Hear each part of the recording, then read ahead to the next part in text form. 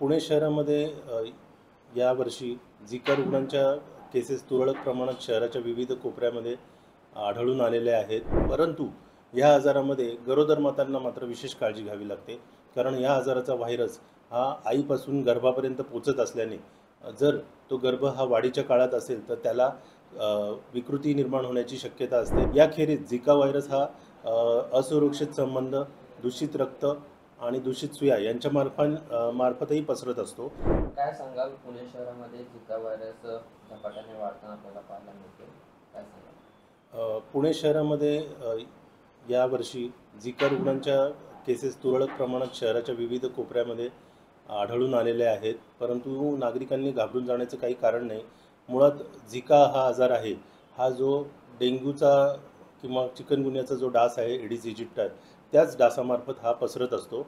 परंतु डेंग्यू आणि चिकनगुन्याच्या तुलनेत झिकाचा जो आजार आहे हा त्या मानाने फारसा प्रभावी नाही. हा बरेचदा हा आजार जर योग्य आहार भरपूर पाणी प्यायलं किंवा क्रोझिनसारख्या गोळ्या वगैरे घेतल्या तर बरेचदा हा घरच्या घरी बरे होणारा आजार आहे. याच्यासाठी हॉस्पिटलमध्ये ॲडमिट राहावं लागत नाही. परंतु या आजारामध्ये गरोदर मातांना मात्र विशेष काळजी घ्यावी लागते.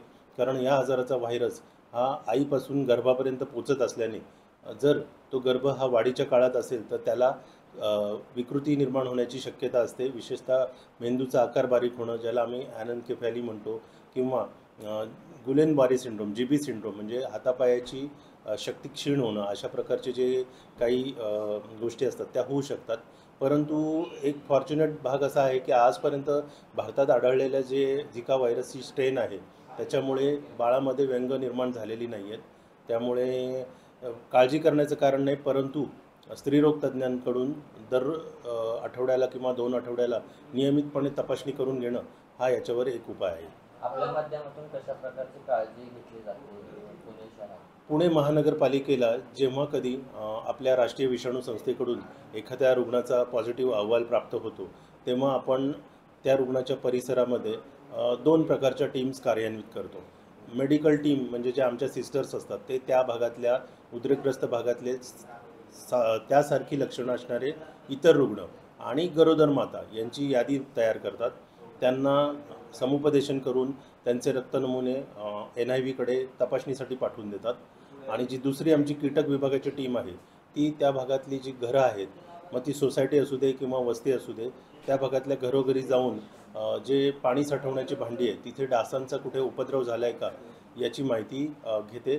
तर डासांचा उपद्रव झाला असेल तर त्या ठिकाणी ते ब्रिडिंग नष्ट केलं जातं औषध फवारणी केली जाते.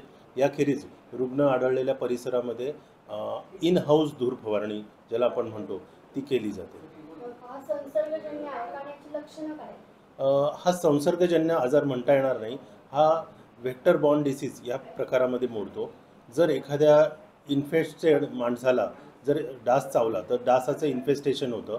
आणि हा डास निरोगी माणसाला चावला तर हा पसरू शकतो.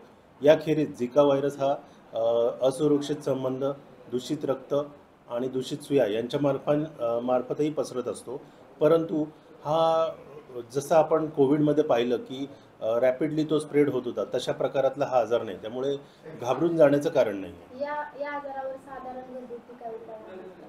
या आजारावर काळजी घेणं हाच एक उपाय आहे. या आजारासाठी हा सेल्फ लिमिटिंग इलनेस या प्रकारातला असल्याकारणाने जर दोन तीन दिवस ताप येणं किंवा रॅश येणं अशी लक्षणं दिसतात जर घरीच व्यवस्थित भरपूर पाणी प्यायलं निरोगी जीवनशैली म्हणजे ज्याला आपण ताजं अन्न खाणं किंवा बाहेरचं अन्न न खाणं अंगभर कपडे घालणं एक्सपोज पार्टवर मस्क्युलर रिपेलंट लावणं दिवसासुद्धा गुड नाईटसारख्या मस्क्युलर रिपेलंट औषधं चालू ठेवणं त्यानंतर दिवसा जर झोपायचं असेल तर मच्छरदाणीचा वापर करणं यासारख्या जर गोष्टी केल्या तर हा आजारामध्ये फारशी काळजी करण्याचं कारण नाही. फक्त गरोदर महिलांना मात्र माझं एक असं आव्हान राहील की गरोदर महिलांनी विशेष करून ज्या नऊ आठवड्यापासून चोवीस आठवड्यापर्यंत ज्याच्यामध्ये बाळाचे विशेष करून अवयव तयार होत असतात. तर अशा काळामध्ये गरोदर महिलांनी अधिक सतर्कपणे आपल्या स्त्रीरोग तज्ज्ञांच्या संपर्कात राहून वेळोवेळी एन टी स्कॅन अनोमली स्कॅनसारखे यू एस जीचे जे प्रकार आहेत ते करून घेतले पाहिजेत आणि डॉक्टरांच्या सल्ल्याने पुढील उपचार घेतले पाहिजेत. पुणे शहरामध्ये आत्तापर्यंत पंधरा रुग्ण आढळून आले आहेत. तर त्या ते शहराच्या कुठल्याही एका विशिष्ट भागात आढळून आलेले नाही ते शहराच्या विविध भागात आढळलेले आहेत. परंतु आता जेव्हा कधी एखादी गरोदर महिला या आजारांनी बाधित झालेली आम्हाला दिसून येते तेव्हा आम्ही त्या भागातल्या बऱ्याचशा गरोदर महिलांचे रक्त नमुने तपासणीला पाठवतो. त्यामुळे आपल्याकडे सर्वेलन्स हा अतिशय चांगला होत असल्यामुळे नवीन केसेस त्या भागात आपल्याला दिसून येतात. परंतु त्या ज्या केसेस आहेत त्या दिसून येतात त्या आपल्या चांगल्या सर्वेलन्स ॲक्टिव्हिटीमुळे दिसून येत आहेत. याचा अर्थ आजाराचा प्रसार होतोय किंवा आजाराचा संसर्ग वाढतोय असं होत नाही. इतर नागरिकांना काय आव्हान इतर नागरिकांना तसं पाहिलं तर हा आजार हा कुठल्या एखाद्या विशिष्ट भागात दिसून येत नाही. काही अगदी अतिशय इलाईट सोसायटीमध्ये सुद्धा हा आजार दिसून आलेला आहे. तर अगदी काही स्लम भागामध्ये पण दिसून आलेला आहे. तर जिथे जिथे पावसाचं पाणी किंवा घरामध्ये पाणी साचलेलं आढळून आलेलं आहे. तर एडिस इजिप्टाय हा डास. हा स्वच्छ पाण्यामध्ये अंडी घालत असल्यामुळे अशा ठिकाणी ब्रीडिंग आढळून येत आहे. जर तुम्हाला घरामध्ये कुठेही डासांच्या आळ्या आढळून आल्या तर ताबडतोब ते भांडं रिकामा करून उपडं करून ठेवणं आणि पुढचे चोवीस तास त्याच्यात कुठलंही पाणी न भरणं हा एक उपाय आहे. जर असं केलं नाही तर डासा त्या भांड्याच्या तळाला चिकटलेली डासाची अंडी पुन्हा हॅच होऊन त्यातनं पुन्हा डासांच्या आळ्या तयार होऊ शकतात. डासांच्या बाबतीत हा डास हा घरामध्ये वाढत असल्यामुळे आत्ता सध्या आपण इन हाऊस फॉगिंग पद्धत जी आहे की घरामध्ये आणि त्याच्या परिसराच्या शंभर घरांमध्ये अ, धुराळणी करणे हा प्रकार आपण करत आहोत. त्याखेरीज सोसायटी परिसरात औषधाचं स्प्रेइंग करणं. जर साठवायची पाणी असेल तर त्याच्यामध्ये आबेट नावाचं औषध टाकून डास नष्ट करणं. हे आपण करत आहोत. काही ठिकाणी मोठ्या प्रमाणात पुणे शहरात विकास कामं चालू आहेत आणि तिथे आत्ता काम बंद असल्यामुळे जर स्वच्छ पाण्याचं मोठं तळं वगैरे साठलेलं असेल तर अशा ठिकाणी आम्ही गप्पी मासे पण सोडत आहोत. कारण हे पाणी ताबडतोब काढणं शक्य नाही. परंतु जर स्वच्छ पाणी असेल तर गप्पी मासे डासांच्या आळ्या खाऊन टाकतात. त्यामुळे या ठिकाणी आम्ही ते करत आहोत.